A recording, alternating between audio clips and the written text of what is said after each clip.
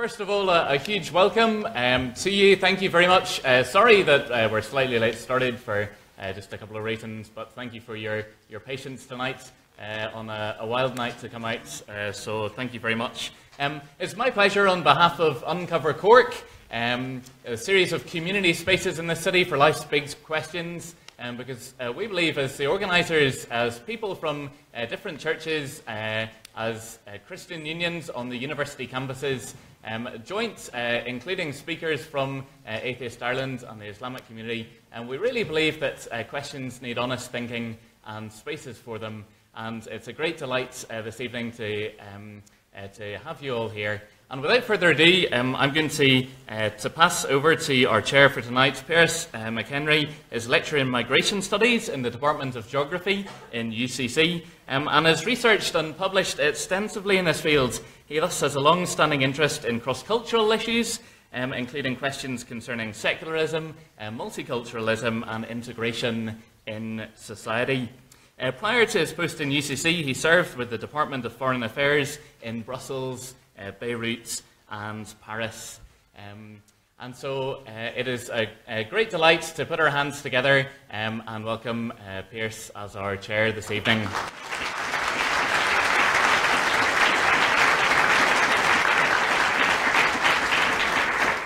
Um, just before Pearse comes, uh, two brief uh, health and safety announcements. Uh, the, the, main uh, fire, the main fire escapes um, are at fairly obvious at the doors um, and uh, please use them. Uh, the toilets, should you need one, uh, an usher at the back, um, at the back of tonight's event, uh, will point you towards the toilets um, if uh, that's the case. Um, thank you very much again for coming, and over to Pearse. Uh, thank you very much, Peter, and good evening, everybody. You're all extremely welcome. On behalf of UCC and the Christian Unions Ireland, and indeed Atheist Ireland, I'd like to make you welcome to tonight's debate. I should say, by the way, uh, in, in, my own defence, um, a little bit about why I'm here. Uh, my name is Pearse McHenry, and my interest is actually neither in philosophy nor theology. But I have lived in a number of countries over my life, and I do study questions of integration and the impact, for instance, of the arrival of communities from a different faith background in societies that traditionally wouldn't have been used to them. I've lived in two countries in my life with major issues around religious conflict. One is Ireland, obviously. The other one is Lebanon. And in both cases, I had first-hand experience, so to speak, of differences in religious views. I then went to live in France, where um, obviously the prevailing philosophy is one of secularism. And I discovered, somewhat to my surprise perhaps, that secularism isn't the answer to everything either. It assumes that faith is something that you can tidy away it neatly and put into the domain of your private life, and the public sphere will somehow be pristine and untouched by issues of faith. And we know that's not the case either. So I think um, for anyone uh, with my experience, and no doubt many of you here in the audience too, questions of the existence of God are absolutely central, um, whether you reject that uh, existence or whether you accept it. And the question of how we then live in society around that central question, the meaning of life, and in particular, uh, the, the, role that God plays in that belief, um, if uh, there is a role in your own personal belief system. And I think it's a tribute, um, and before I go any further, I should also say Ireland itself has secularised, of course, in the last 20 years. We did it very rapidly and in a rather precipitate fashion. Um, there are those who will regret that and those who will celebrate it. But at the very least, I think um, the sheer size of the audience tonight, uh, it's extraordinary actually. It's proof of the fact that these are still very live, current questions for all of us to consider. Uh, I can think of very few occasions uh, or very few subjects which would attract an audience of the scale that we have here tonight. We not only have this room full, but in fact the lecture theatre next door where there's an overspill and people can see us uh, via um, an internet connection. That room, as far as I know, is full as well. And that's, that's an extraordinary tribute to um, the, the ever current nature and importance of the topic for those of you who have come here. And again, can I say, uh, you're extremely welcome. Uh, a few practical notes before we begin and before I hand you over to the two speakers. Uh, this is a relatively for formal format, if I can put it that way, and I, what I would ask is that you listen to all of the speakers respectfully, that you uh, refrain from clapping between speeches or during them. So this is not the philosoph. Uh, it's, it's, it's, a somewhat, somewhat different format. Um, what we're going to do is um, each speaker We'll be starting with um, Bill Craig and we'll be moving on to uh, Michael Nugent. Each, each speaker will have 20 minutes for an opening presentation. And following those two opening presentations, there will be rebuttals by each speaker of the other speaker's opening presentation. That will be for 11 minutes, and we'll, we'll, be fairly strict with time. Following which, there will be second rebuttals, so rebuttals of the rebuttals, if you can follow me, of seven minutes. Uh, after that, then, there will be um, a short break, and what we're asking you to do at that moment is to either uh, tweet your questions if you, if you have questions, um, and the Twitter address is there someplace. Uh, yes, it's Uncover Cork. So it'll be ampersand, that A type of thing, Uncover Cork, if you have a question, or write them down and pass them to one of the organisers. So um, it won't be a question of a free-for-all with the audience, but rather we, we want to give people time to think of their questions, send them to us, as I say, on paper or by Twitter, and then we'll have time to organise the questions for the last uh, part of the session where We'll have, first of all, closing statements of five minutes each, each from the two speakers, and then we'll have questions and answers. And the reason I'm asking you for the questions is that we want to be able to spread them fairly between the two speakers. So it'll be speaker, speaker, speaker, speaker. Each person will have the same number of questions, and they speak alternately. So we want to keep an absolute uh, balance and fairness in how the entire arguments and the two speakers are dealt with uh, throughout the evening. Uh, so that's, they're, they're, the main points um, I want to make. Um, as I say, if you could refrain from clapping uh, either during the speeches or during them, between the speeches or during them. The questions we'll collect at the break, and the questions will be to alternate speakers where we'll see that as, as things unfold uh, later in the evening. So we have two very eminent uh, speakers tonight, and I'm going to uh, mention and, and, describe them briefly to you before we, we pass to our first speaker. Michael Nugent is an Irish writer and activist. He has written, co-written or contributed to many books and to the comedy musical play I, Keano, uh, which enjoyed a very uh, extended run uh, and a very popular um, reception some years back in Ireland. He's chairperson of Atheist Ireland, and he describes uh, Atheist Ireland as an advocacy group for um, atheism, reason, and ethical secularization. And he's a vocal spokesperson in Ireland and beyond for atheism, reason, and an ethical secular state. He's debated in many universities and has shaped policy by speaking to lawmaking bodies in Ireland, Europe, and abroad. And incidentally, he has two websites, and both of them are worth looking at. I've listened to some of uh, his um, podcasts there. One is simply michaelnugent.com, and the other is www.atheist.ie. So anyone interested um, can follow up. Uh, we also have Dr. William Lane Craig, who's research professor of philosophy at the Talbot School of Theology, and he's a professor of philosophy at Houston Baptist University. He runs an organization called Reasonable Faith, and again, they've got a website too. It's called www.reasonablefaith.org. And as well as being author of over uh, 30 books, he's author or editor of over 30 books, sorry, nearly 200 peer-reviewed academic articles in professional journals of theology and philosophy, and he's well known for debates all over the world with famous atheists. Uh, I can tell you he's debated some of the biggest, and I'm, I'm sure that the names uh, would probably be known to you. Um, and again, I should mention that um, our host tonight, Christians Union Ireland, are an interdenominational uh, coalition of uh, different Protestant uh, confessions or faiths here, and they're mainly interested in outreach uh, to students and to young people. So this is a, very appropriate context for them as well. So I'd like to begin now by inviting Bill to come to the podium and speak for the first 20 minutes. You welcome Bill Craig, please.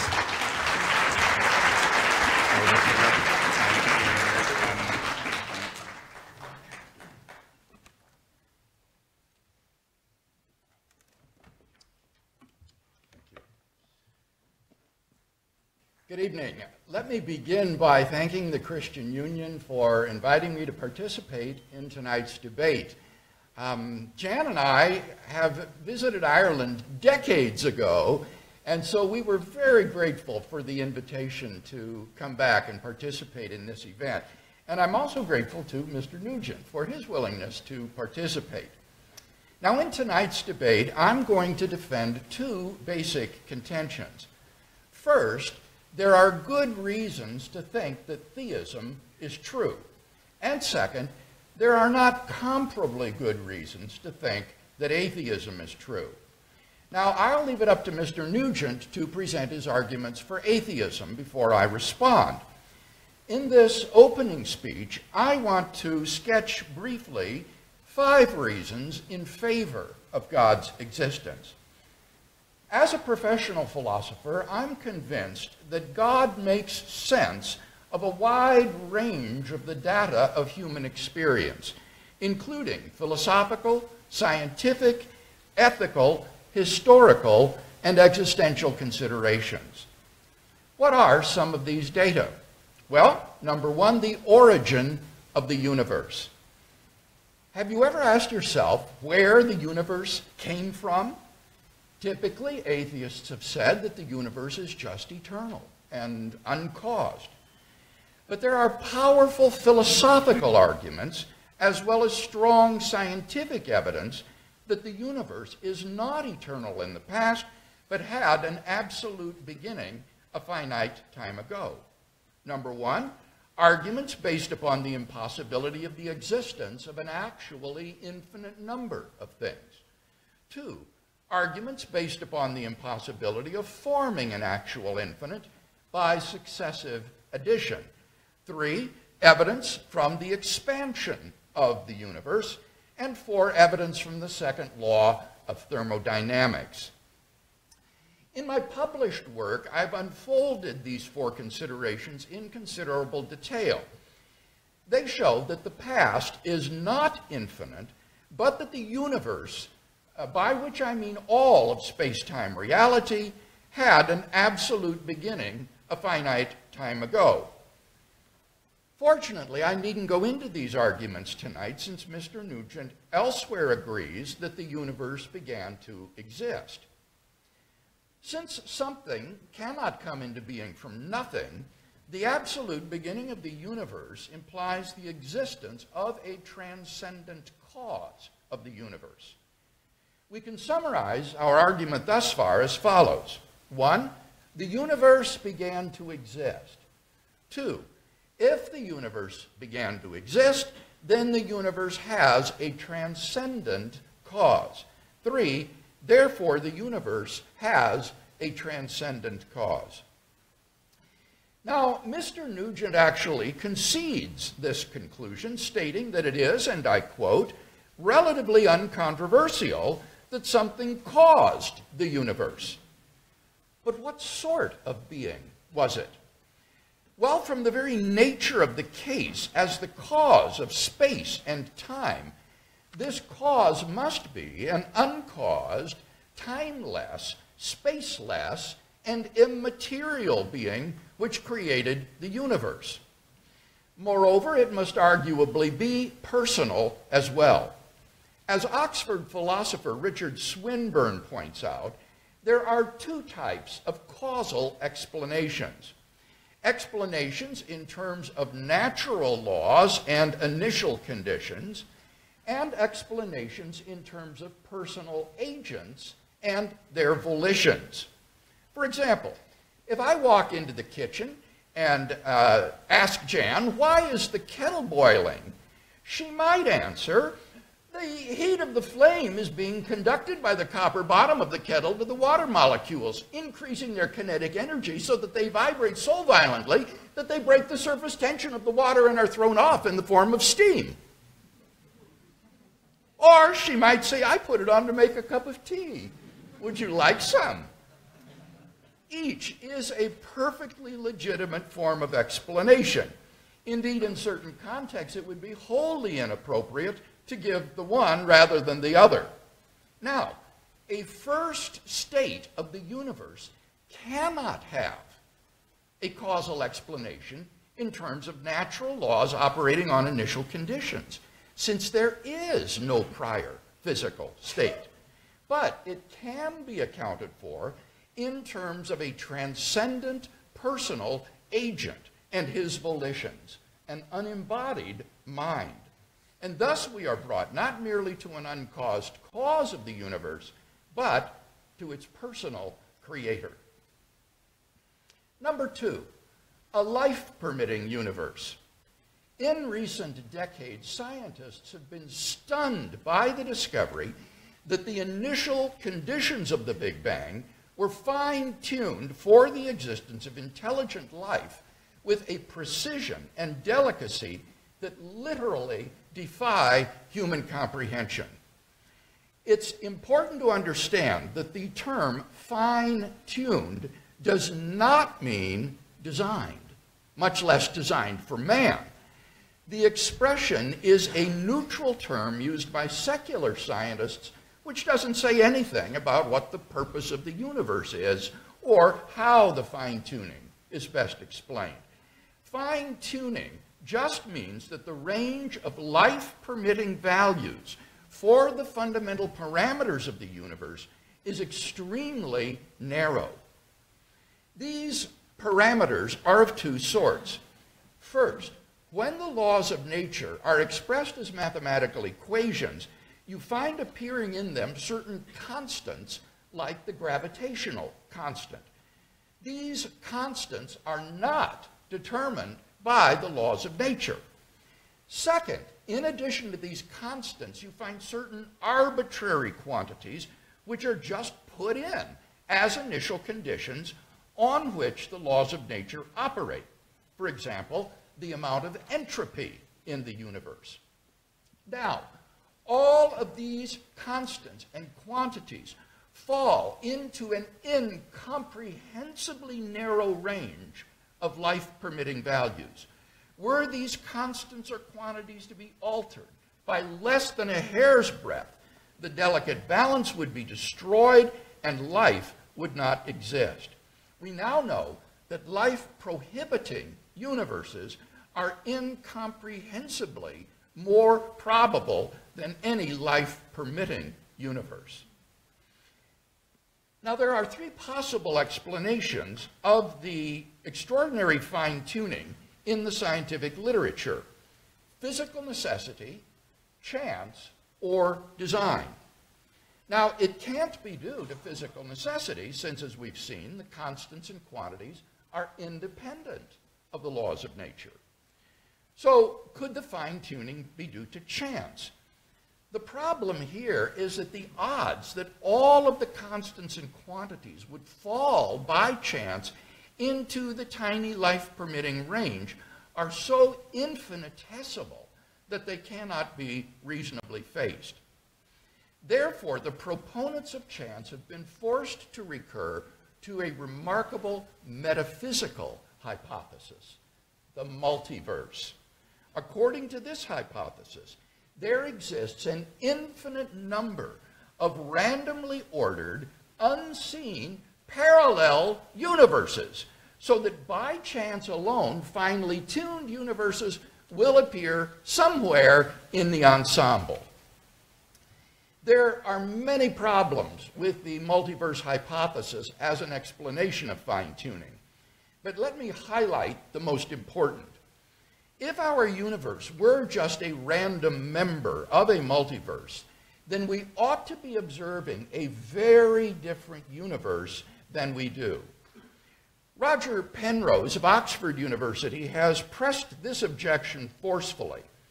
He points out that the odds of our universe's initial low entropy conditions existing by chance alone are one chance out of 10 to the power of 10 to the power of 123.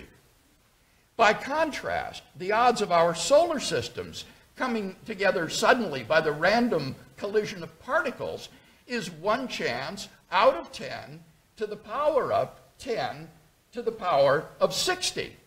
This number, says Penrose, is utter chicken feed in comparison to 10 to the 10 to the 123. What that means is that it is far more likely that we should be observing an orderly patch no larger than our solar system, since a universe like that is so unfathomably more probable than a finely tuned universe like ours. In fact, the most probable observable universe is one which consists of a single brain which pops into existence by a random fluctuation with illusory perceptions of the external world. So, if you accept the multiverse hypothesis, you're obligated to believe that you are all that exists and that this auditorium, your body, the earth, and everything you perceive are illusions of your brain. No sane person believes such a thing. On atheism, therefore, it is highly improbable that there exists a randomly ordered multiverse. With the failure of the multiverse hypothesis, the alternative of chance collapses. Neither physical necessity nor chance provides a good explanation of the fine tuning of the universe. Therefore, it follows the best explanation is design. Thus, the life permitting universe implies the existence of a designer of the cosmos. Number three, the existence of objective moral values and duties in the world. Our first two arguments give us a creator and designer of the universe, but they don't tell us anything about his moral character. How do we know that he is good? My third argument addresses that question. Premise one states if God did not exist, objective moral values and duties would not exist.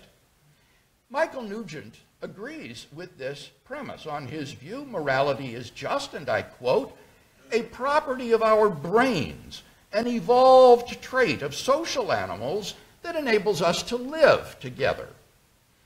Just as a troop of baboons exhibit empathy and reciprocity because natural selection has determined it to be advantageous in the struggle for survival, so their primate cousins, Homo sapiens, have evolved similar behavior for the same reason. As a result of sociobiological pressures, there has emerged among Homo sapiens a sort of herd morality that functions well in the perpetuation of our species. But on the atheistic view, there isn't anything that makes this morality objectively binding and true.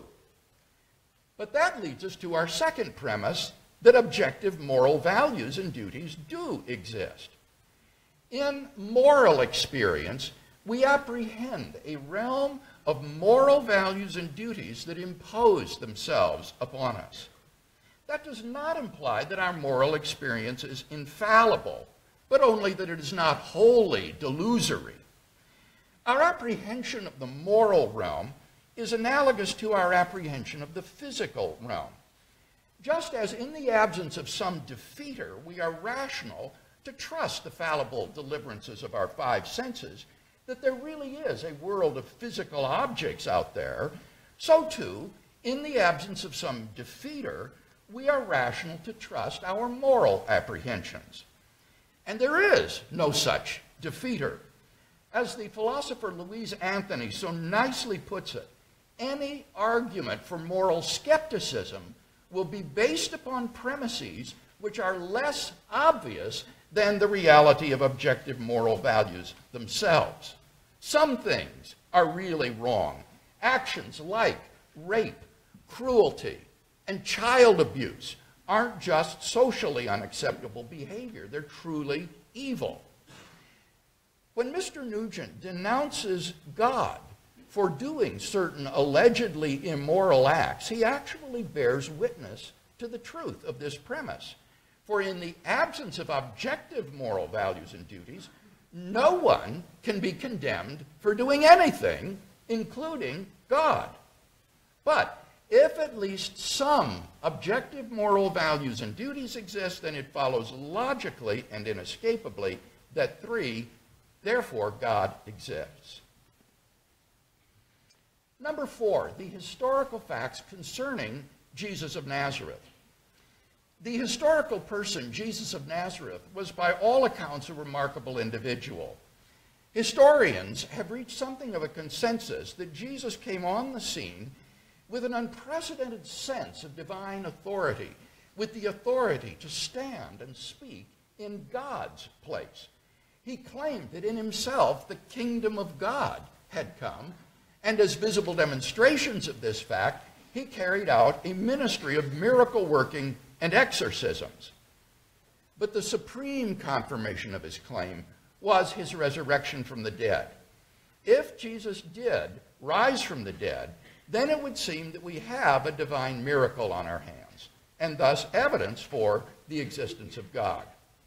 Now, most people would probably think that the resurrection of Jesus is something you just believe in by faith or not. But there are actually three facts recognized by the majority of historians today, which I believe are best explained by the resurrection of Jesus. Fact number one on the Sunday after the crucifixion, Jesus' tomb was discovered empty by a group of his women followers. According to Jakob Kremer, an Austrian specialist, by far most scholars hold firmly to the reliability of the biblical statements about the empty tomb. Fact number two on separate occasions, different individuals and groups saw appearances of Jesus alive after his death.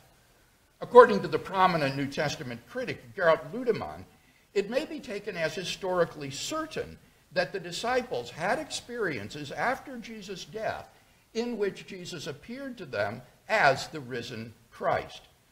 These appearances were witnessed not only by believers, but also by unbelievers, skeptics, and even enemies. Fact number three the original disciples suddenly came to believe in the resurrection of Jesus despite having every predisposition to the contrary. Jews had no belief in a Messiah who would be defeated and executed by his enemies. And Jewish beliefs about the afterlife precluded anyone's rising from the dead to glory and immortality before the end of the world. Nevertheless, the original disciples came to believe so strongly that God had raised Jesus from the dead that they were willing to die for the truth of that belief. N.T. Wright, an eminent New Testament scholar, concludes that is why, as a historian, I cannot explain the rise of early Christianity unless Jesus rose again, leaving an empty tomb behind him. Attempts to explain away these three great facts, like the disciples stole the body or Jesus wasn't really dead, have been universally rejected by contemporary scholarship. The simple fact is that there just is no plausible, naturalistic explanation of these facts. And therefore, it seems to me, the Christian is amply justified in believing that Jesus rose from the dead and was who he claimed to be. But that entails that God exists.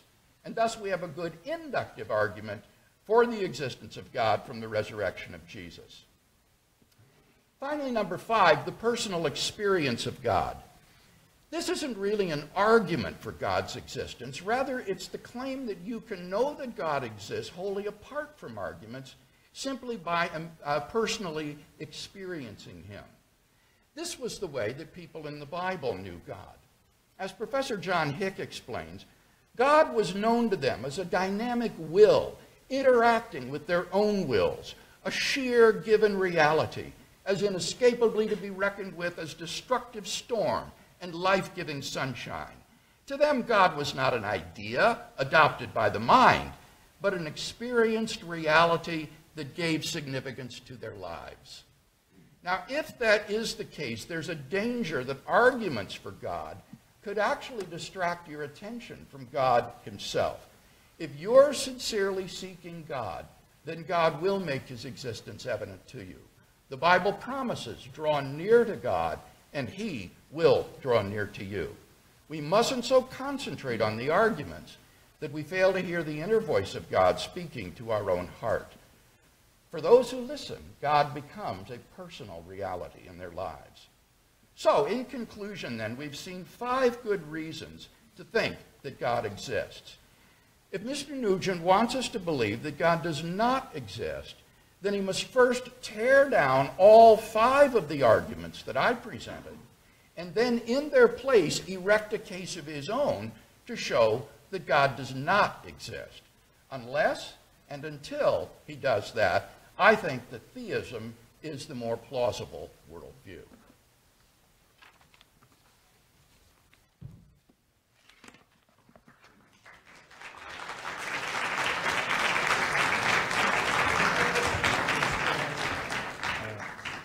Thank you very much indeed, Professor Craig, and thank you indeed as well for keeping within the um, allotted time. I would now like to invite Michael Nugent of Atheist Ireland to present his case. Michael.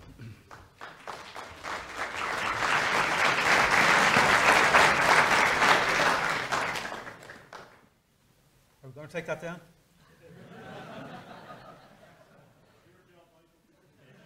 Is there a button here? My fault.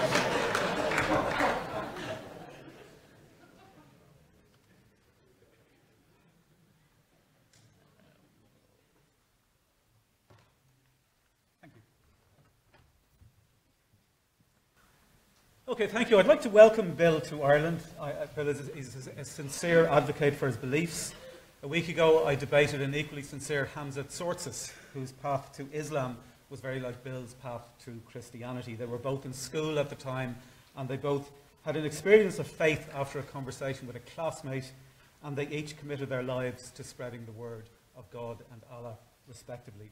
Now, both Bill and Hamza know that their gods exist because of faith and they're both using reason to help to lead people to a personal uh, truth that they both know by faith. And they're both good, sincere people, and at least one of them, if not both, are mistaken. I strongly believe there are no gods, so I'm a strong atheist. I also don't claim to be able to know that there are no gods, so I'm also an agnostic.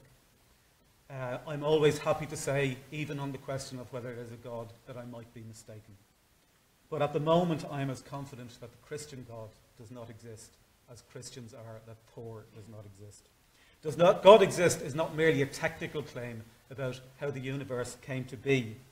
It is also a claim about having moral authority uh, to tell people how to live their lives. And that puts a strong onus of proof and a strong responsibility on people making that claim. I want to suggest tonight, as, as, as, we, as Bill has somewhat alluded to in, in his last couple of comments, that essentially we're talking today about whether the Christian God exists. Because for any other God, both Bill and I will simply agree that they don't exist. Our only area of difference is whether the Christian God exists. So how do we evaluate what's most likely to be true? Well, I, I suggest, uh, un, unlike Bill's last point, I suggest that, that faith and personal experience are the worst and least reliable ways of, of identifying what's true. They result in different people coming to different beliefs about the same reality. Applying reason to evidence is the most reliable way because it can more reliably result in different people coming to the same beliefs about the same reality. And when we apply reason to reality, I'm going to suggest tonight that the idea of a God seems implausible, that reality and morality both seem as they would expect, we would expect them to be if there was no God, and that there is a relentless pattern of natural explanations replacing supernatural explanations. I'm going to start with the idea of the uh, Christian God seeming implausible, obviously to somebody who doesn't already believe in it. That Christians typically believe that their God is a pure mind without a body, perfect and changeless, a first cause beyond time and space, all knowing, all powerful, and all good. Well, here are 20 reasons why that seems implausible. A pure mind without a body is an invented convenience because we have no evidence that a mind can exist without a body or a brain or a source of energy, and a lot of evidence to suggest that it can't. Even if we explore this invented convenience, a pure mind without a body might be aware of the existence of matter, but it couldn't interact with that matter because there would be no mechanism for it to do so. If this God is changeless, then it cannot create anything because it would have to change in order to do so. Even if you believed that it simply willed matter into existence, which is another invented convenience, then that act of will would be a change within that supposedly changeless mind. But if this mind is perfect, then it couldn't change anyway, because it would either become more perfect, which is impossible, or less perfect, in which case it would no longer be perfect. Even if it could change, it would not want to change, because being perfect, it would have no desire to do anything. If you respond that it was changeless, but it changed after it created the universe or when it created the universe, then it is simply false to say that it is changeless. Or could it change back to being changeless? And how would that change happen? If the God is no longer changeless or beyond time and space, then it may have ceased to exist sometime in the last 14 billion years. If this God is all perfect and all good, then it would have created a perfect universe. At a minimum, a perfect universe would not contain suffering or evil. If you respond that even a perfect God can only do what is logically possible, then it is logically possible to have a universe without suffering or evil. If you respond that the universe is actually perfect, but we just don't understand how, then why would the God have to intervene in this perfect universe through miracles? The Euthyphro dilemma still remains. Does the God command things to be good for arbitrary reasons?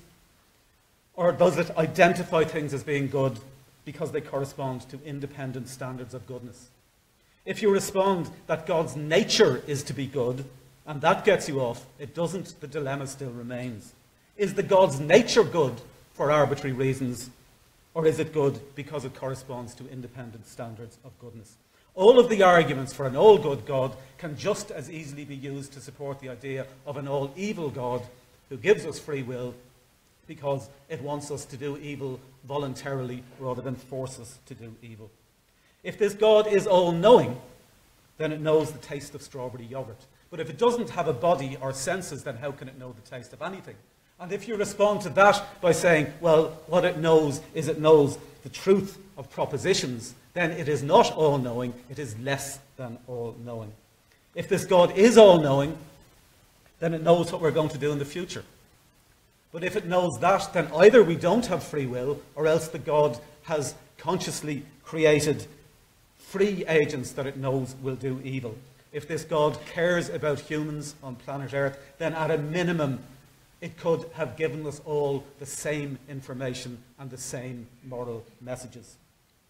And finally, let me remind you that all of this is just exploring hypothetically an invented convenience, which is that there can be such a thing as a pure mind without a body or a brain or a source of energy. And you have to justify that before you move on to all of the supposed attributes. And you have to justify it in the actual world of reality, not just in the invented universe of discourse of theology. The second set of arguments that I want to make is that reality looks like we would expect with no God. Here are 10 reasons why. Theists believe that this God created the universe out of nothing, but the modern study of physics is based on patterns and not causes, and it only allows us to examine back as far as the Big Bang. We simply don't know what might have happened before that. Our universe, or any number of others, might have begun or might be eternal. Theists believe that this God created the universe with a purpose, but we don't see the universe moving towards any purpose. What we mostly see is impersonal forces pushing and pulling particles around and mostly moving towards a state of increasing disorder. Theists believe that this God fine-tuned, excuse me, the physical constants of the universe to allow life. But while these constants do allow life, they don't seem to be related to that or indeed any purpose. And in any case, from a theistic point of view, life has nothing to do with physical constants. It's spiritual. It could exist alongside any set of physical constants, or even without any physical matter at all. The whole point of theism is that our life is not bound to our physical bodies or physical constants, but is spiritual in nature. Indeed, if you believe that this God is a pure, bodiless mind, and if you also believe that matter cannot come from nothing, then the most rational theistic conclusion to come to would be that the God has spawned other pure, bodiless minds and that matter itself is an illusion. Theists believe that this God has a special relationship with human beings on planet Earth. But we see a universe that is incredibly wasteful for such an imagined purpose. If it exists, this human focused God has wasted almost all of time and space in its human focused plan. Our observable universe is 92 billion light years in diameter and expanding. It has over 100 billion galaxies, each of which has 100 billion stars like our sun. We don't know how far our universe extends beyond the observable region. We don't know whether it is spatially finite or infinite, or if other universes exist that exist completely outside of it. Our observable universe is almost 14 billion years old. Life on Earth began about 3.8 billion years ago. Human life began about 200,000 years ago. The Abrahamic God supposedly revealed itself to human beings about 4,000 years ago. That's 4,000 years out of 14 billion years. For context, the Astronomer Royal, Royal Sir Martin Rees once compared the lifespan of our sun to a human being walking across America from New York to California. He said that on that scale, all of recorded human history would be four or five steps somewhere in the middle of Kansas, which, as Professor Rees put it, is hardly the apex of the journey. Theists believe that this God created human life as more special than other life. But we know that we are just one evolved species among many. There have been five billion species on Earth. 99% of them are extinct.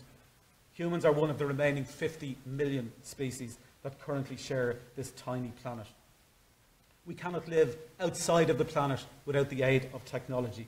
On the planet, we can only live on a small part of the planet's surface. The part that we can live on has earthquakes and volcanoes and tsunamis. We can die within seconds of being deprived of oxygen or for any other number of reasons. We can believe things and we can do things that are counterproductive to our survival. And those of us who do the fewest things that are counterproductive to our survival are the ones who survive. We have, however, evolved a capacity to apply reason to evidence. And that enables us to understand more about how the universe operates naturally. We can design models of reality to help us to understand how actual reality might work. And this provides us with fantastically reliable predictions about reality, particularly when contrasted to the utter unreliability of theistic beliefs. And this is enabling us to gradually move beyond earlier beliefs about supernatural agency. Whatever the specific mechanisms might be involved, human life is as we would expect it to look if there was no God, if there was natural evolution. Yet, with astounding self importance and grandiosity, many humans still believe that we, alone on our planet, alone in our galaxy, and alone in the universe, are the only living beings with God given immortal souls. I want to move on now to the issue of morality. And I'm going to suggest that morality is also as we would expect it to be if there was no God. Again, here are 10 reasons why. Firstly, what do I mean by morality? An outcome is bad, and I believe objectively so, if it harms a sentient being, and an action is objectively wrong if the agent unjustly harms a sentient being. In any given situation, it can be easy or difficult to know what the right or wrong thing to do is. Now, if there was an all knowing, all perfect, all good God that was the source of morality and that cared about human beings on planet Earth, at a minimum you would expect that he would be able to give us all the same moral message. And we would see throughout different parts of the world and different parts of history everybody having the same sense of morality. If there was no God, what we would expect to see is that different sets of people at different times and at different places in the world would be evolving different sets of morality and different codes of morality, and that is indeed what we do see. So, in parallel to applying reason to the evidence of reality, in order to try to understand what is objectively true about reality, we can also try to apply reason to the evidence of our behavior to try to understand what is true about morality. And it is simply false to suggest that we need the assistance of a God to do that. There are many approaches to moral philosophy that do not invoke gods. I'm going to give you one plausible model. Morality has evolved in the brains of social animals, including humans, because both cooperation and competition are useful to survival. When parents look after their children, those children are more likely to grow up. When tribes cooperate in looking for food, those tribes are more likely to survive. And so genes for caring for children and genes for cooperating tend to be passed on from generation to generation and become more common. Now we see three phases of morality among social animals. The first phase is empathy and compassion the second phase is cooperation and reciprocity. And the third phase is understanding, fairness, and justice. And many non human animals will exhibit these types of morality. There was an experiment where rats would refuse food if they saw that when they ate the food, another rat uh, was electrocuted. It said a lot about human morality, setting up a, an experiment like that. There's another experiment where monkeys were given food if they put a token into a slot.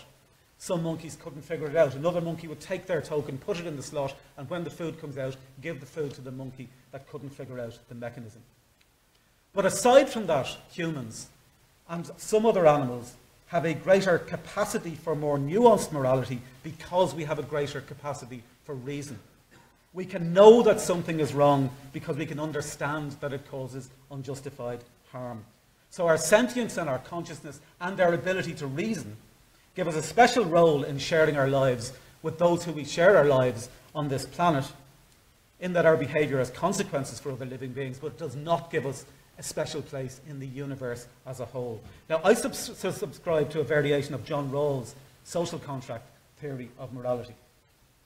And what that is, is essentially is how would a perfectly rational set of people design principles of justice for a society if we don't know in advance what position we would hold in that society. We don't know whether we're rich or poor, we don't know whether we're male or female, we don't know whether we're healthy or sick.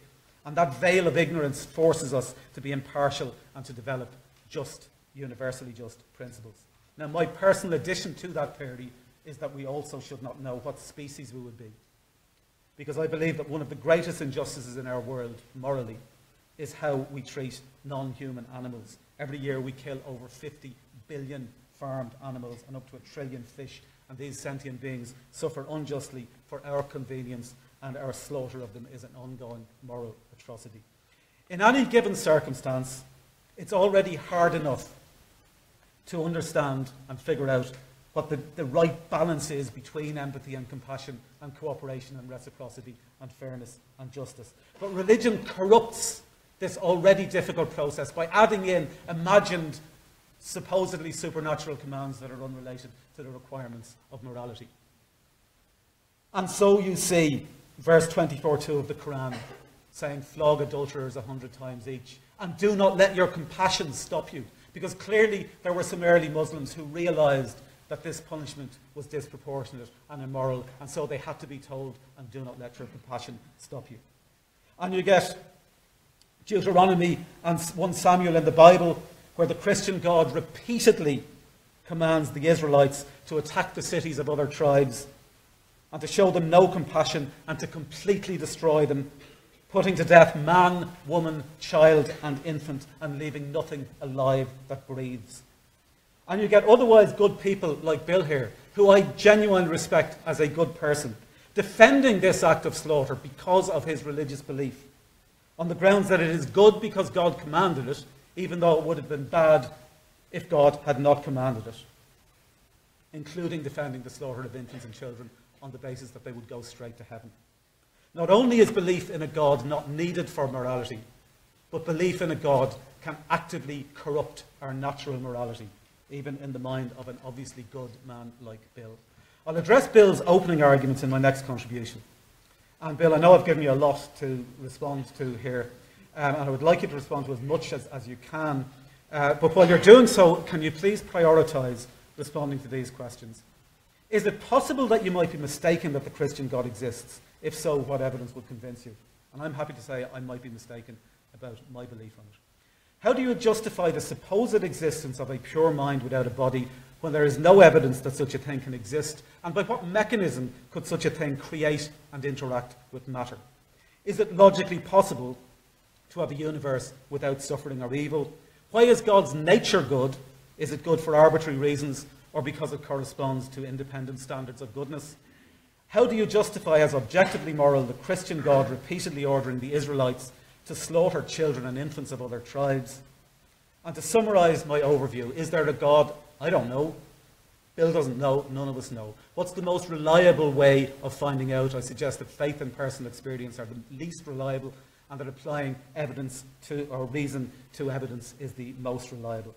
When we apply uh, reason to evidence, we notice that the idea of a God is implausible. We notice that reality and morality as, as, are as we would expect them to be if there was no God. And we also notice that natural ex explanations are relentlessly replacing supernatural explanations. And while there are still some questions that we still don't understand the answers to, I suggest on the basis of that relentless flow of natural explanations replacing uh, supernatural ones and nothing going in the opposite direction, that it is more reasonable than not until we get evidence to the contrary to believe that there is no God. Thank you very much.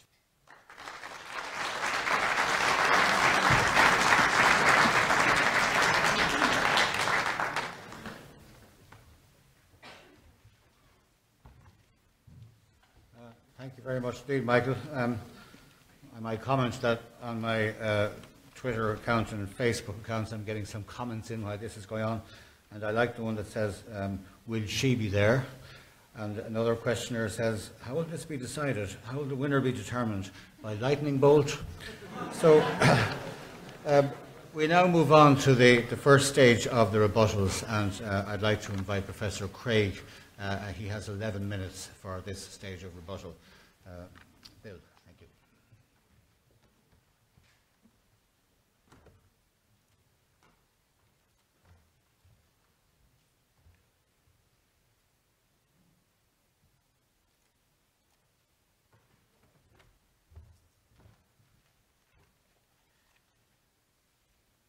You'll recall that in my opening speech, I said I would be defending two major contentions in tonight's debate. First, that there are good reasons to think that uh, God exists, and secondly, there are not comparably good reasons to think that atheism is true. In his opening speech, Mr. Nugent presented at least five atheistic arguments. Number one, he said there's no evidence that a mind might exist without a body. I have two points of response. First, we are acquainted with ourselves as immaterial persons. Reductive materialism doesn't work because mental properties are not identical with physical properties. For example, the brain is not jubilant or sad. Epiphenomenalism, that is, the view that the physical brain has mental properties, is incompatible with self identity over time intentional states, thinking about things, with freedom of the will and with mental causation. So it seems to me that the best view of ourselves is some sort of dualist interactionism. We are free agents who cause effects in our body. Uh, we are immaterial selves. But secondly, I've given arguments in my opening speech for the existence of a transcendent personal creator and designer of the universe and source of objective moral values. Those arguments require that there be a transcendent, immaterial mind, and so that demonstrates the existence of such a thing.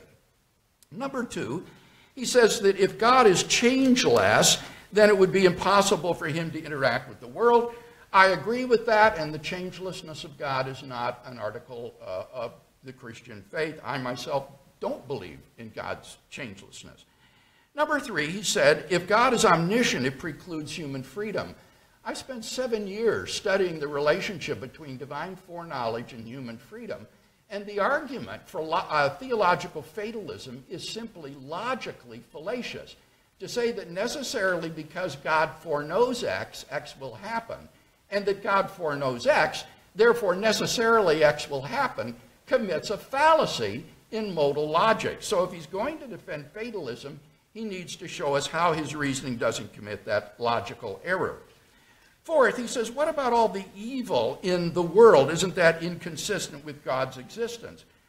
Not at all. The atheist has an enormous burden of proof to show that it is logically impossible that God could have morally sufficient reasons for permitting the evil and suffering in the world, and no atheist has ever been able to carry that burden of proof.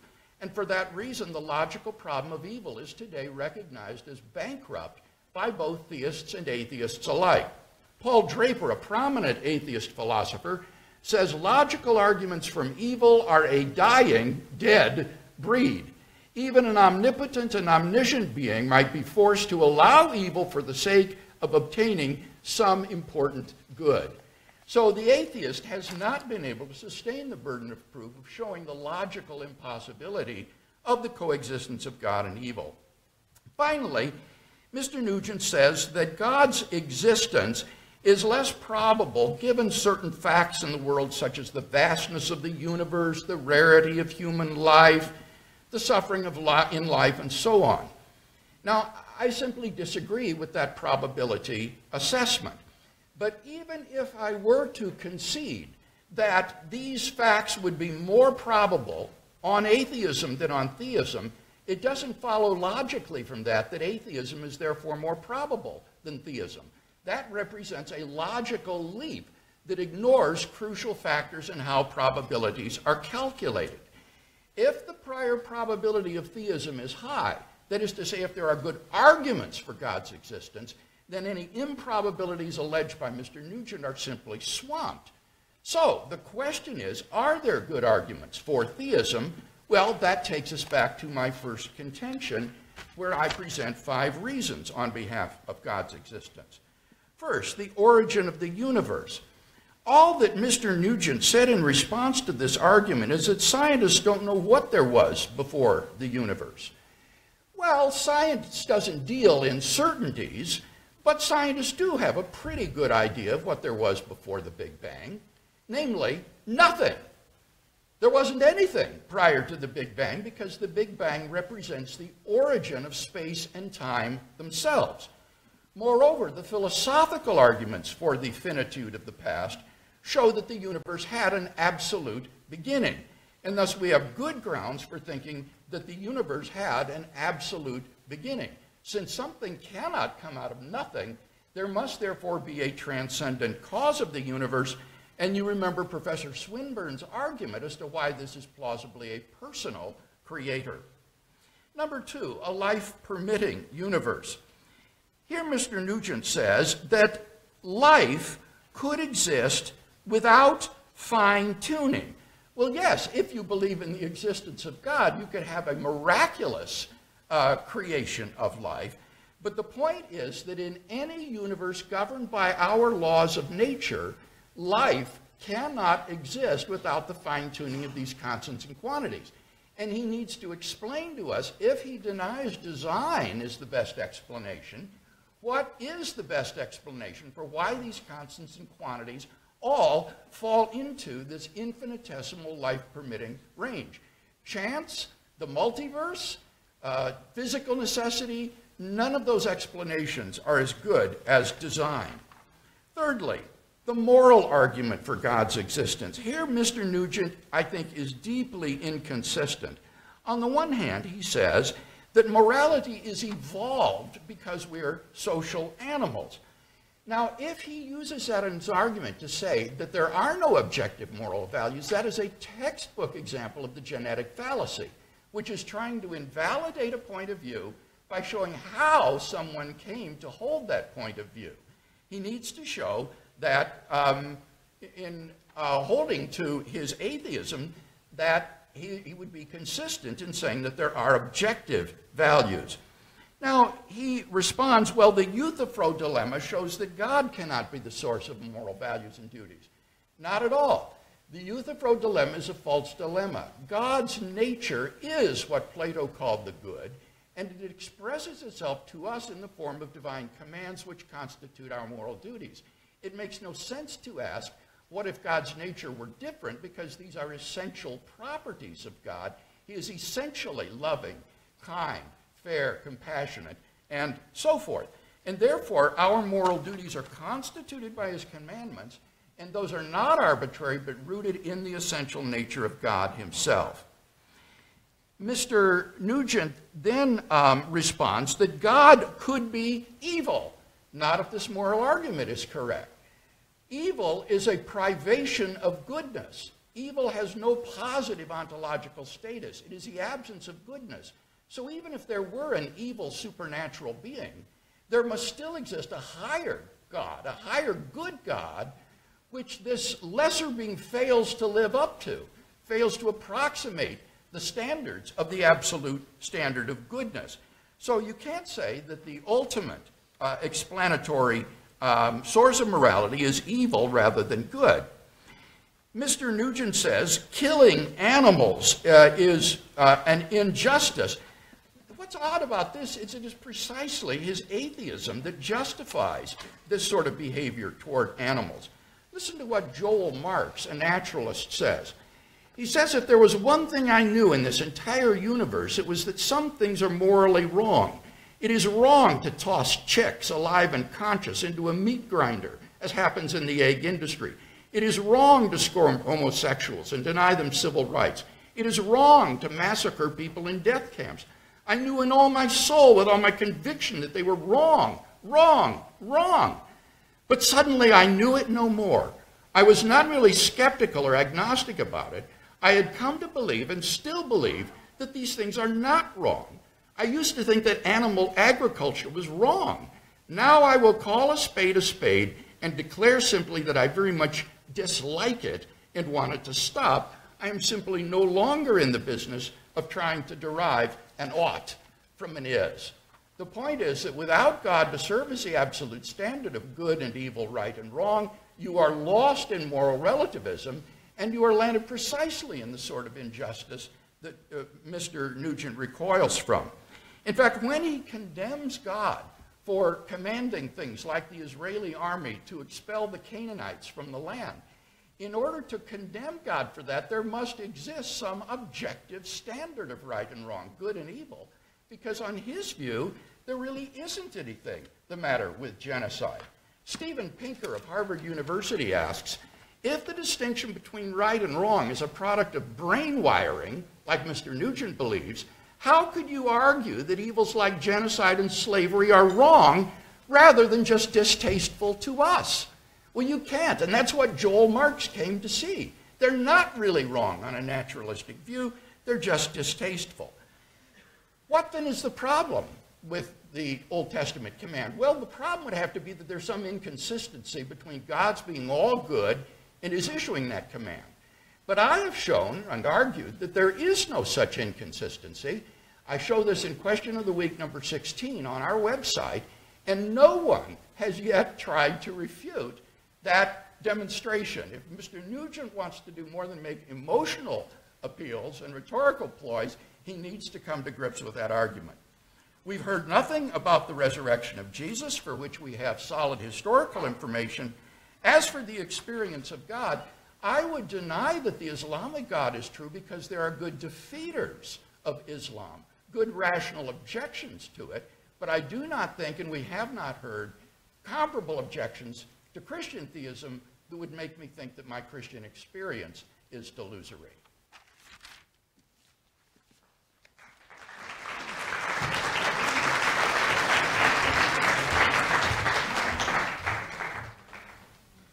Very much indeed, Bill. Uh, I'd now like to invite Michael to rebut the first rebuttal. And just to remind you, we have uh, two further exchanges um, from the two speakers, and then there'll be a short break. Thank you.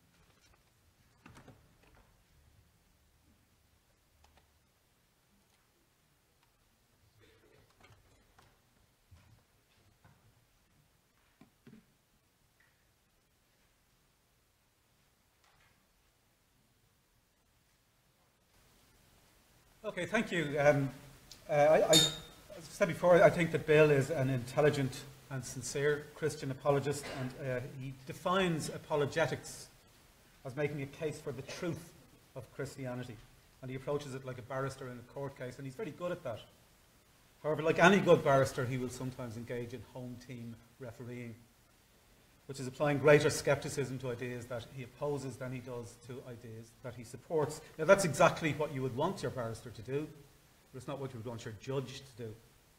And in this contribution, I'm going to address some of Bill's arguments, uh, not only here, but also the, some of the key arguments that, that, he makes in his books and websites. Uh, the Kalam argument is Bill's key argument. And I, have actually shifted a little bit more away from that. There was some parts of that that, that I did agree with. I did think at one stage that it was um, relatively uncontroversial to think that the universe had a cause. I still think possibly, but, uh, but I'm, I'm, more open on that now, having studied more into the quantum physics of the, of the beginning uh, of whatever the expansion of the universe was. But let's take the, the Kalam argument, which I hope you're familiar with, that everything that begins to exist has a cause. The universe began to exist, and therefore the universe has a cause. I, I think that the first of those is, is kind of questionable because when we say that everything begins to exist in the context of people and planets and uh, tables and chairs, we're essentially talking about particles that already exist being rearranged, where nothing new is actually coming into existence. New particles are being rearranged into new uh, patterns, and we're calling part of those new patterns a table or a chair or a, a planet. Uh, and when we go on to the question of the universe began to exist, uh, it, we, we, again, we just don't know the answer. Uh, you know, our physics only brings us back to the Big Bang. Maybe it began to exist, maybe it's eternal. We don't know. I used to think that, that, that it probably did. I now don't know. Um, but the conclusion, and this is the key thing about Kalam, that the conclusion that uh, therefore the universe is the cause, whether it's true or not, doesn't follow from those two premises. Because there is an equivocation about the meaning of the phrase beginning to exist. Let, us look at a parallel syllogism, which I call the Kalam papal movement argument. Premise one, bishops can only move diagonally. Premise two, the Pope is the Bishop of Rome. Conclusion, therefore, the Pope can only move diagonally. Now, clearly, we can see the flaw in that immediately.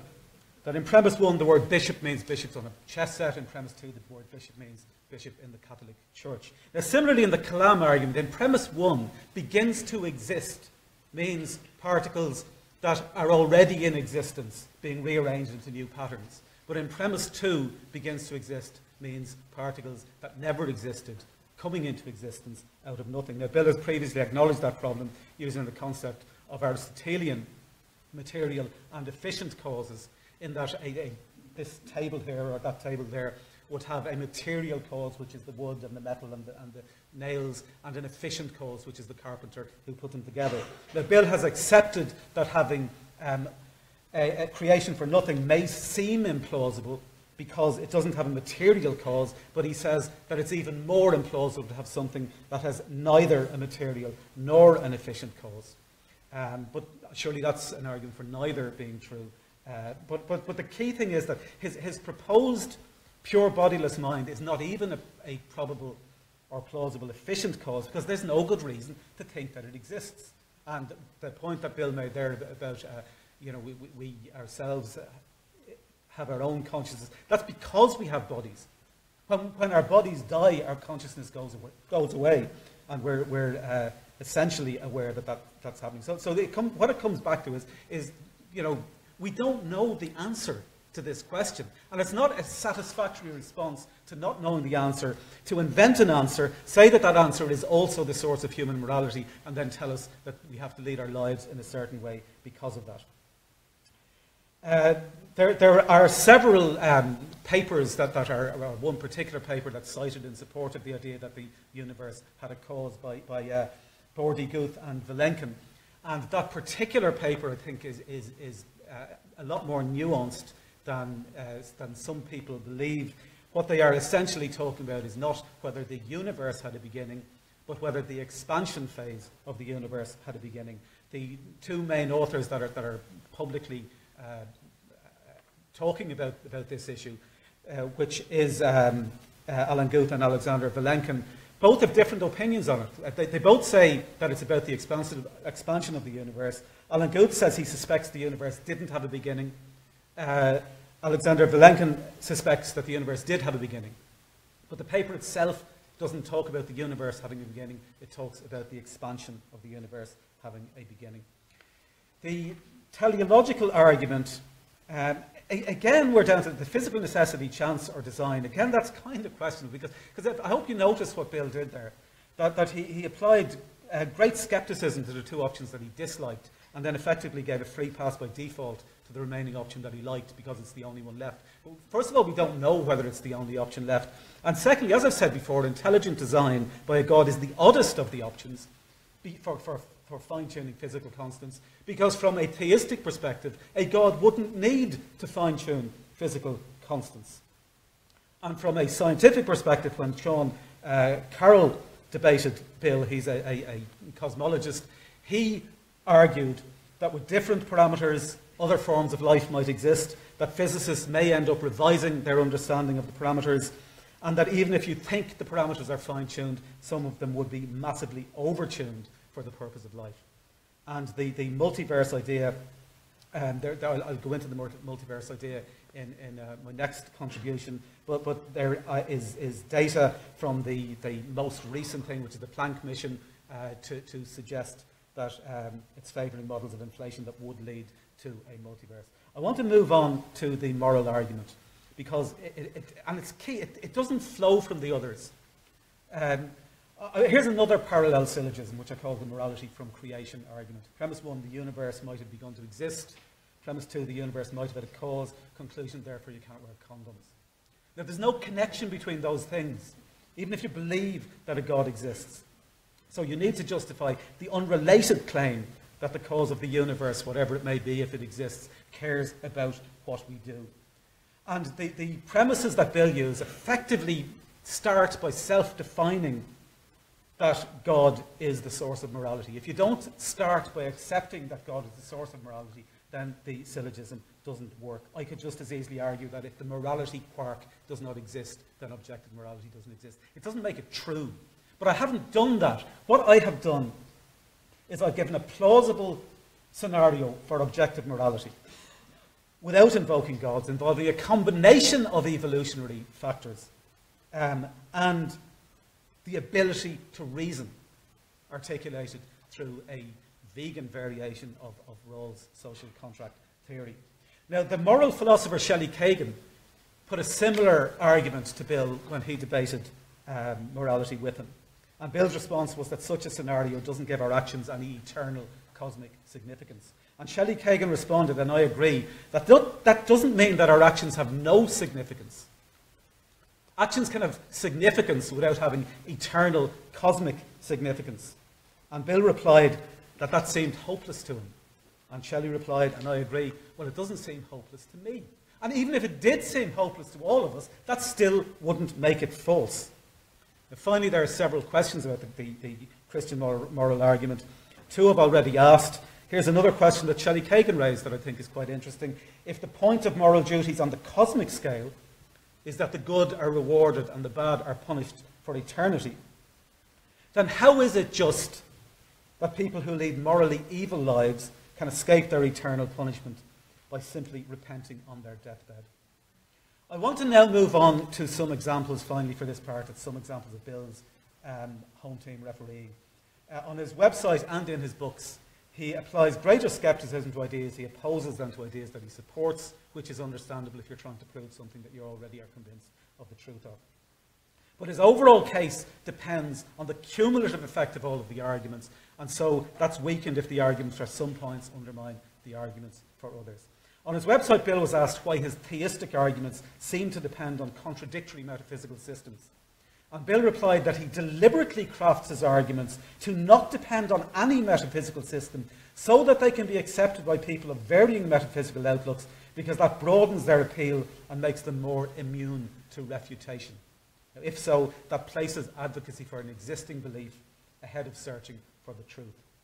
When opposing physical necessity as a response to the question of fine tuning, Bill says that this is a radical position put forward without any proof. Yet when defending design, he says that God is a pure mind without a body, which is a radical position put forward without any proof. When opposing the multiverse as a response to the question of fine tuning, Bill says that the proposed mechanisms for generating a multiverse are vague, and the multiverse may itself require fine tuning, which would start the problem all over again. Yet when defending intelligent design and asked who designed the designer, Bill says that in order to recognize an explanation as the best, you don't need to have an explanation of the designer or of the explanation. So whether the designer has an explanation can simply be left an open question for future inquiry. Now, none of what I have said makes any of Bill's specific conclusions false, but it is a reason to be cautious about the overall case that he makes. And I will address in my next contribution the, the idea that faith is ultimately why Bill believes in the Christian God and that without that faith, no amount of reason will get you there. Thank you very much.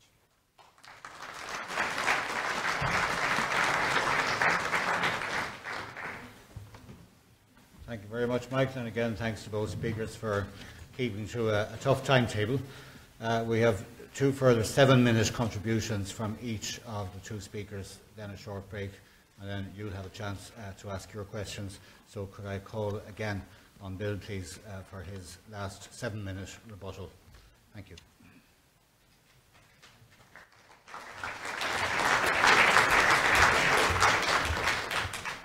So are we going to have those PowerPoints uh, again for this speech?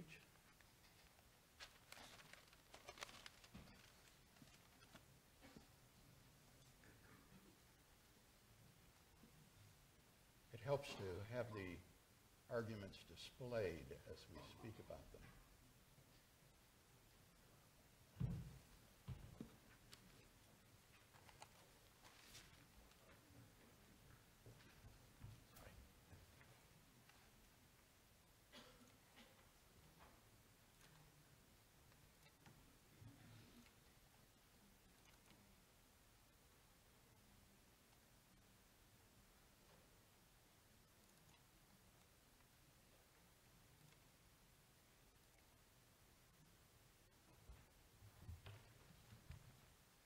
Before looking again at those five reasons I gave on behalf of God's existence, let's review Mr. Nugent's case for atheism. He simply reiterated his argument that there cannot be an unembodied consciousness or mind, but he didn't refute my point that neither reductive materialism nor non reductive materialism gives a plausible account of the mind body relation, and he needs to do that if he's going to carry his point. Secondly, remember, I said that my arguments prove the existence of such an unembodied mind or being, and so he needs to refute those arguments. He then dropped his arguments about divine immutability, the incompatibility of omniscience with uh, human freedom, the problem of evil, and whether or not the vastness of the universe and so forth is more probable on uh, atheism than on theism. So let's go back then to those five arguments that I offered on behalf of premise, or the contention one, that there are good arguments to think that theism is true. First, the origin of the universe. Now, Mr. Nugent accuses me of committing equivocation with regard to the phrase begins to exist. I plead not guilty. When I say begins to exist, I use the following definition. X begins to exist at t if and only if x exists at t and there is no time t prime earlier than t at which x exists. That is an intuitive and univocal definition of that concept that holds throughout the argument. He says, but scientists don't know what there was before the beginning. Merely reiterating his former assertion, I explained that there's nothing before the beginning because it is the beginning of space and time itself. He says, well, but the Borde-Guth-Vilenkin theorem only implies that the current expansion began uh, to exist, not the cosmos. This is simply false. Alexander Vilenkin, in his book Many Worlds in One, states, It is said that an argument is what convinces reasonable men, and a proof is what it takes to convince even an unreasonable man. With the proof now in place, cosmologists can no longer hide behind the possibility of a past eternal universe they have to face the problem of a cosmic beginning. In the fall of 2015, Vilenkin made the even stronger statement. We have no viable models of an eternal universe. The Borde-Guth-Vilenkin theorem gives reason to believe that such models simply cannot be constructed. Thus, I think we have excellent evidence to think that the universe had an absolute beginning and since something cannot come out of nothing, there must be a transcendent cause. And I've already argued, using Professor Swinburne's argument, for the personhood of that cause. This argument alone gives us grounds for rejecting atheism this evening. If this were the only argument I carried, it would succeed in showing that atheism is false. Secondly, what about a life permitting universe? Here, Mr. Nugent again simply reiterated that God could miraculously create life without fine tuning. Granted, but that's irrelevant. That, that doesn't speak to the issue of the fact that for any universe governed by our laws of nature, these constants and quantities must be exquisitely fine tuned in order for life to exist, non miraculously, without violating the laws of nature. And so the question is what's the best explanation of this? Chance, physical necessity, design? It seems to me that design is the far more plausible explanation. He says, well, with regard to the multiverse, you can just leave it an open question. That wasn't the objection I posed to the multiverse in this debate, which was the problem that we ought to be observing a much different universe if we are just a random member of a multiverse. Remember, the idea of a single brain is the most simple, observable universe that could exist, and that's what we ought to be observing or thinking if we think that a multiverse explains the fine tuning. As for the moral argument for God's existence, um, here he appeals to Shelley Kagan and the debate that I had with him. What Kagan holds to is a very different view than Mr. Nugent's. Kagan says that what is right and wrong is what would be determined by a perfectly rational committee of people. The problem with that is that it just begs the question by assuming that a person, perfectly rational person couldn't be a naturalist like Mr. Nugent who is a nihilist and doesn't believe there are any objective moral values. So this is part of the same incoherence. Mr. Nugent wants to have his cake and eat it too. He wants to hold that moral values are simply the spin-offs of biological evolution and social conditioning, and yet he wants to exhibit moral outrage at injustice uh, and immorality that is done, and you can't do both. You need to have an absolute transcendent standard for right and wrong beyond sociocultural mores in order to judge what is good and what is evil. And I think that there is no reason to deny our moral experience in this regard. Remember, as I said, any argument for moral skepticism is going to be based on premises that are less obvious than the existence of objective moral values themselves. John Healey, who was the president of Amnesty International, wrote in a fundraising letter I am writing to you today because I think you share my profound belief that there are indeed some moral absolutes when it comes to torture, to government sanctioned murder, to disappearances. There are no lesser, lesser evils. These are outrages against all of us. So if you agree with me that there are at least some objective morals and duties, then you should agree that God exists. The resurrection of Jesus has gone undiscussed in tonight's debate. Remember, we saw that the majority of historians accept the three fundamental facts that undergird the inference to Jesus' resurrection, and that is why I am a Christian theist rather than a Muslim or a Jew. Finally, the experience of God. Uh, again, he dropped the point in his last speech. I pointed out that unlike Christian experience, I think there are good defeaters of Islamic uh, religion uh, that make it less rational. And therefore, I think that the Christian is entirely within his rights to trust his personal experience of God unless and until the atheist is able to show that he's suffering from some psychological delusion, which Mr. Nugent certainly hasn't done tonight.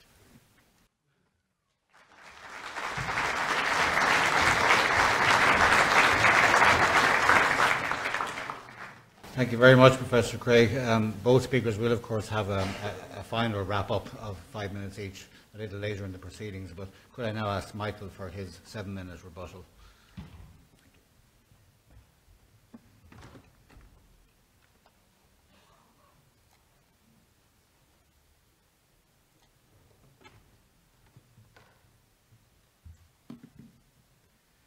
Okay, so I've asked Bill several questions. Uh, the first was, is it possible you might be mistaken that the Christian God exists? I haven't got an answer to that yet. I hope, Bill, you'll get around to it in, in the, um, in, in, the summary.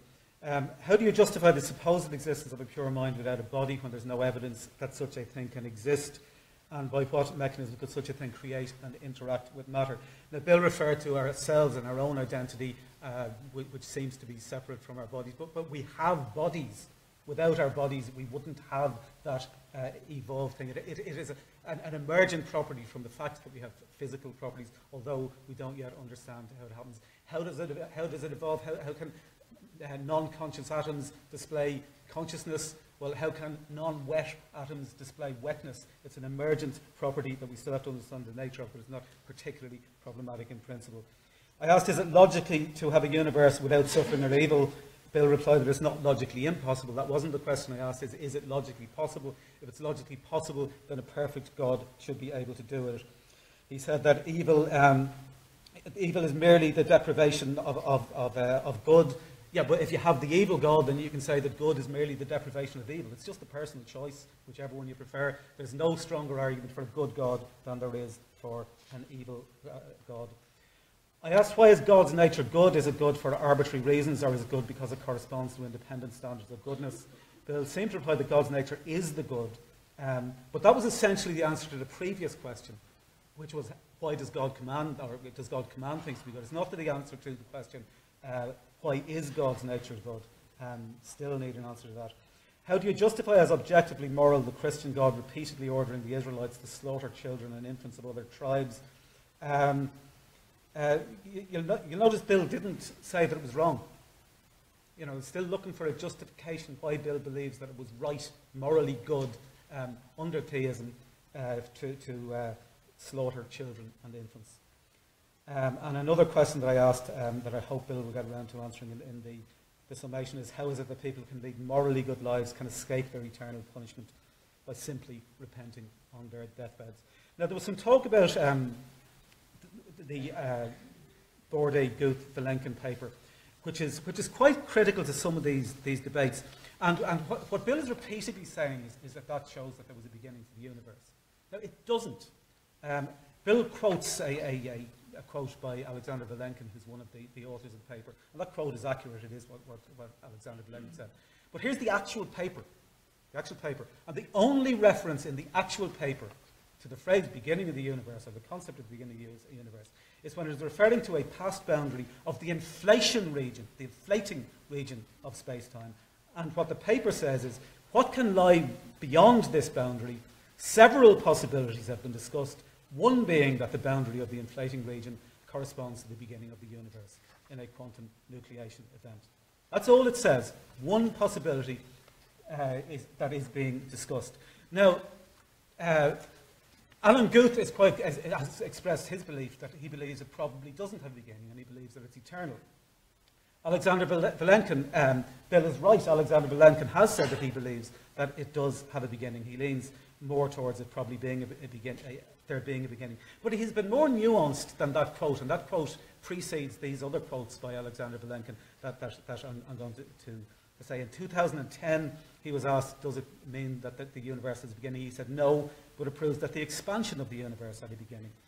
Um, he also said in a, in a follow-up email during that exchange, I would say that the short answer is yes. If you're willing to get into subtleties, then the answer is no, comma, but, dot, dot, dot.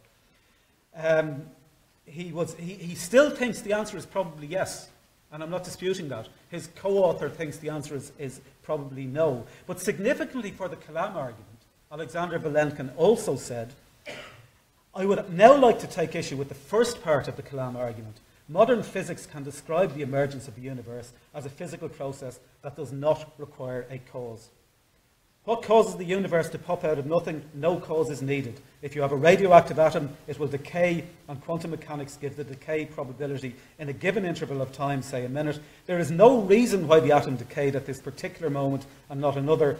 The process is completely random. No cause is needed for the quantum creation of the universe. Now, the key thing here in terms of these overall arguments is that Bill cannot have it both ways. He cannot quote Vilenkin over his co-author in terms of the idea that the universe probably had a beginning in terms of his premise two in Kalam, and yet reject the same analysis by the same scientist in terms of premise one of his argument that, the, that there must have been a cause.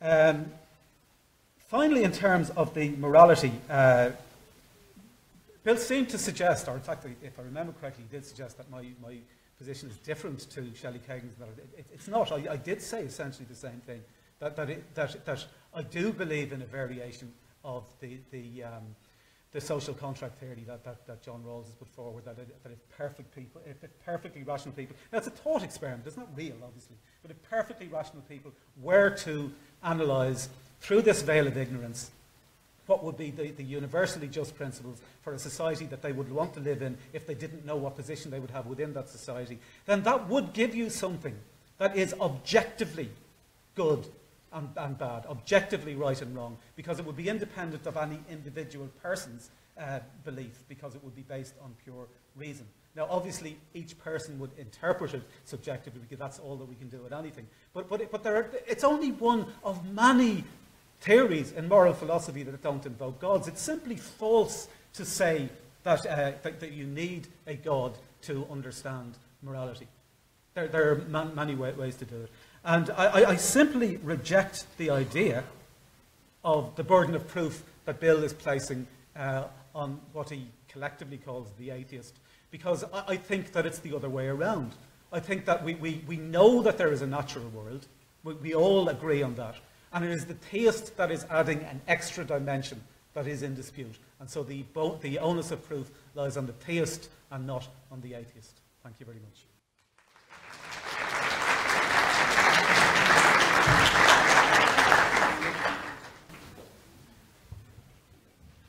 Uh, thank you very much, Michael. Um, thank you for your patience collectively. At this stage, I'd like to thank both speakers, in fact, for a very reasoned and inspiring and intelligent and courteous debate. Not always the case in this particular contested area. We have a short break now of about four minutes. And what I'm going to say is that um, in terms of questions, we'd like you either to tweet your question, if you have one, to Uncover Cork at Uncover Cork is the address on Twitter, or else to write it out in a good old-fashioned piece of paper. And please say what your question is and which speaker you want it addressed to. What is your question and who is it for? Thank you.